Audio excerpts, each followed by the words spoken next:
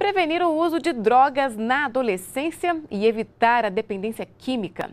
Essa é a meta da Semana Nacional de Políticas sobre Drogas, que vai até sexta-feira. Entre as ações está o lançamento de uma cartilha que será distribuída em todas as escolas públicas. Uma conversa franca com adolescentes sobre drogas. Essa é a intenção da cartilha lançada como parte das atividades da Semana Nacional sobre Drogas.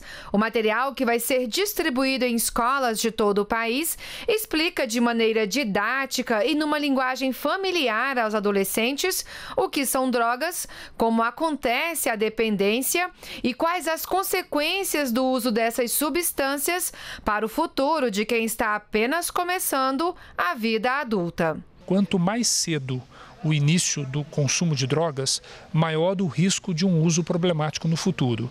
E desta forma, nós trabalhamos cada vez mais com a ideia de que o uso de drogas para adolescentes é algo que deve ser evitado a todo custo. Na área de saúde, a rede de atendimento ao dependente químico inclui as unidades básicas de saúde, os consultórios voltados para a população em situação de rua e os centros de atenção psicossocial.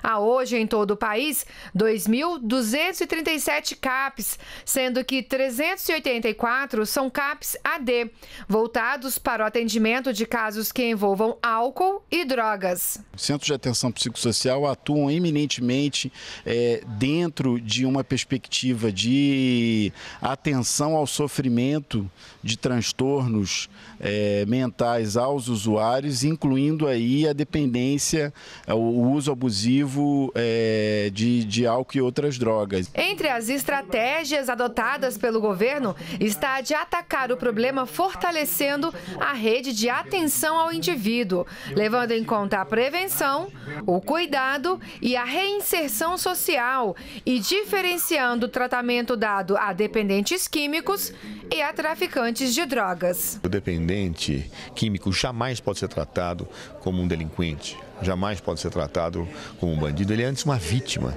de um processo perverso. E como vítima tem que ser tratada na questão de saúde. Como vítima tem que haver toda uma ação assistencial na perspectiva de que ele possa resgatar a sua cidadania, para que ele possa ser um sujeito social ativo e respeitado. O primeiro atendimento a pessoas envolvidas com o uso de drogas também pode ser feito pelo Ligue 132. A central telefônica acaba de completar 10 anos e já contabilizou mais de 1 milhão e 300 mil atendimentos.